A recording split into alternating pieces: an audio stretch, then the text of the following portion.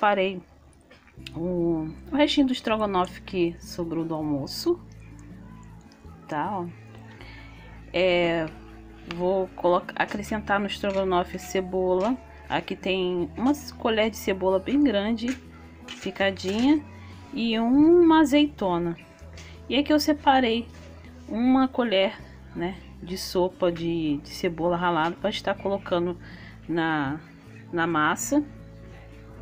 Vou usar aqui é, pimentão, que tem mais ou menos uma colher de pimentão. Vou colocar também requeijão cheddar, tá?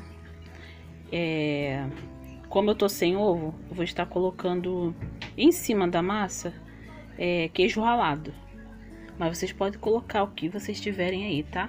É para poder aproveitar esse molhozinho aqui. Vou estar usando margarina.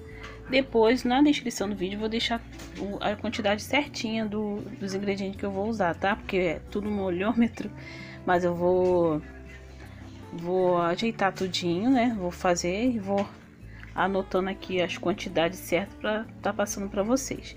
Aqui tem 3 xícaras de açúcar, eu pretendo usar essas 3 xícaras. Né? Vamos ver se eu vou precisar de usar mais. E agora vamos para o modo de preparo. Vou começar já colocando a colher de cebola ralada. Essa aqui eu não ralei, gente, tá picadinha. Mas vocês puderem ralar, tá? É que eu fiz coisa, fiz na, na correria mesmo. Vou fazer uma coisinha diferente aqui, né? E aproveitar o nosso molho de estrogonofe. Vou começar a colocar na margarina também.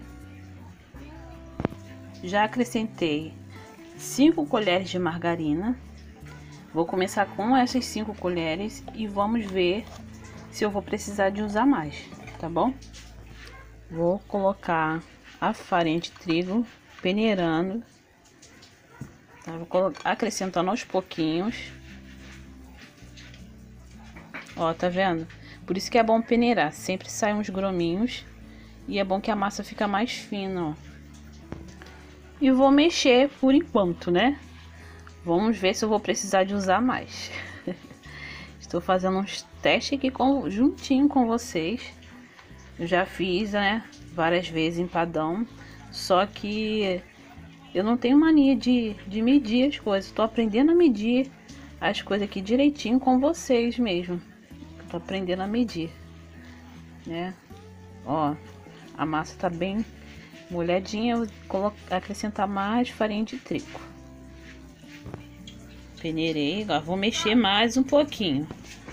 Ah, gente, desculpe a, a qualidade da imagem do vídeo, porque o celular que eu gravava, infelizmente, trincou a metade da tela e não dá pra me gravar mais. Aí tô quebrando um galho com esse daqui, né? Pra vocês não ficar sem vídeo, né? Aí tô... Mas se Deus quiser vai melhorar as coisas. Então, a massa tem que ficar nessa consistência aqui, ó. Tá vendo? Soltinha. Aí que eu estou vendo aqui, ó. Eu acho que eu vou... Acho não, vou colocar mais uma colher de margarina, tá? Para poder é, colocar mais farinha de trigo. Por quê? Porque eu tô vendo aqui que não vai dar, né? Vai ficar faltando. Então, vamos lá. Prontinho, coloquei, né? Ó, mais uma colher. E agora vou acrescentar mais um pouquinho de farinha de trigo e outra, gente, não precisa de colocar sal, a não ser que você goste, né? Não vou colocar por quê? Porque a margarina já tem sal e o recheio já, já tá bem no ponto. Então, para não salgar o meu, meu empadão, eu não vou acrescentar sal. Mas fica a gosto de vocês, tá bom? Acrescentei mais a farinha de trigo tá? E agora vou mexer e já volto com vocês para mostrar como é que ele tem que ficar, tá? Eu mexi bem, ó. Aí ele ficou bem meio esfarinhadinho. O que que eu vou fazer, gente? Para tá dando mais um pouquinho de liga na, na massa, vou acrescentar uma colher de óleo, uma colher de chá, tá? Então são seis colheres de margarina para uma colher de óleo. E lembrando que vocês podem colocar azeite, tá? No lugar do óleo, se quiser, se tiverem aí. Como eu só tenho óleo no momento, vou estar acrescentando uma colher de óleo. E agora vou mexer bem, tá? Vai ser a última a última coisa que eu vou colocar aqui na massa. e já volto com vocês já, depois dela prontinha. Agora sim, gente, ficou pronto, ó. Tá vendo? Ela tem que ficar assim, meio empedradinha, mas quando você faz assim, ó, ela desmancha na sua mão. É assim que vai ficar quando ela tiver assadinha, ela vai derreter na boca. E a cebola, ela ajuda a dar uma molhadinha na, na massa quando cozinhar. Não vai ficar aquele negócio muito seco e, e nem muito molhado, sabe? Que você come e derrete na sua boca. E agora vamos cuidar do recheio, do recheio não, vou colocar na, na forma e depois vamos cuidar do recheio. E agora eu vou colocar aqui, começar colocando a massa, tá?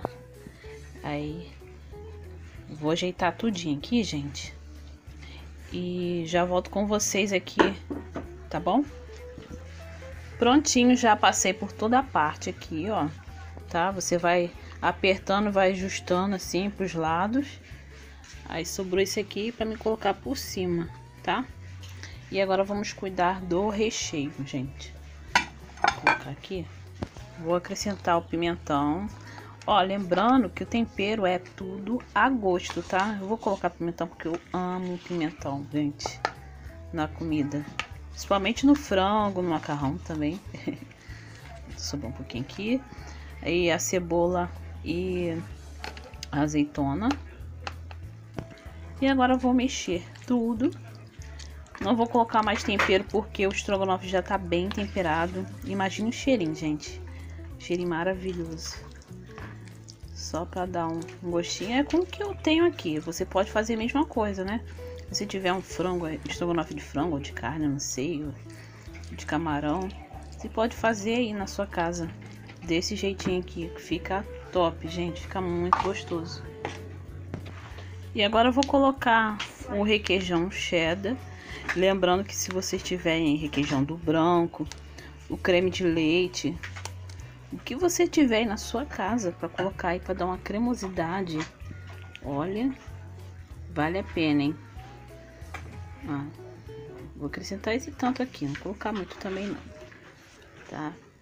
Ó, Agora vou dar uma mexida, né? Misturada nos ingredientes. E já volto aqui para mostrar para vocês. Prontinho, ó. Tá bem misturado. E agora eu vou colocar aqui na nossa massa, né? e já volto mostrando. Que a imagem tá, tá bem escura, senão vocês vão ver a cor. Que o requeijão cheddar, ele é amarelo, né? Então dá aquela cor vermelhada, aquele tom vermelhado no, no molho e fica maravilhoso, gente. E o cheirinho tá incrível. Ó, tá vendo como é que ficou? Maravilhoso. E agora eu vou colocar o restante da massa para cobrir o nosso empadão, tá? Só vou mostrar só um pouquinho como é que eu faço para poder colocar. Tem outras formas, né? Você coloca dentro na, no plástico. Eu tenho um vídeo aí mostrando como é que eu fiz do outro também. Empadão de palmito. Mas eu vou fazer desse jeito aqui. Você amassa bem assim, na palma da sua mão, ó. Aí vai ficar assim. Aí eu pego e vou encaixando aqui. Como se fosse um, um brinquedinho de encaixe, né? ó, tá vendo?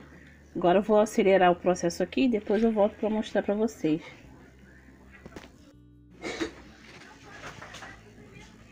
Então, pessoal, eu já acabei de colocar aqui, né? Passar por cima aqui.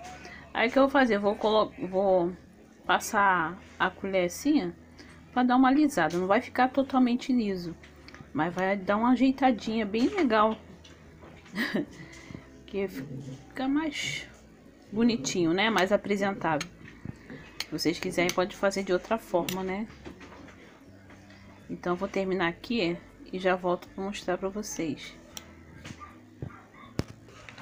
Prontinho, ó como é que ficou. Não tão lisinho, mas bem melhor do que tava, né? Se vocês tiverem ovo aí, coloca gema de ovo, tá?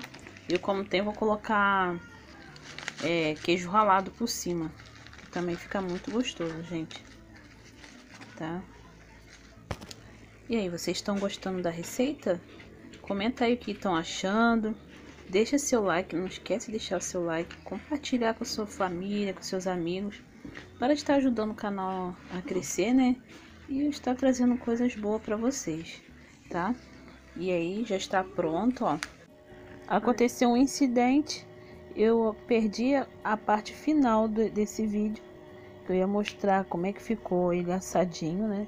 Então, eu vou falar para vocês que eu assei no micro-ondas, durou 10 minutos assando, Fui assando de 3 em 3 minutos, tá bom?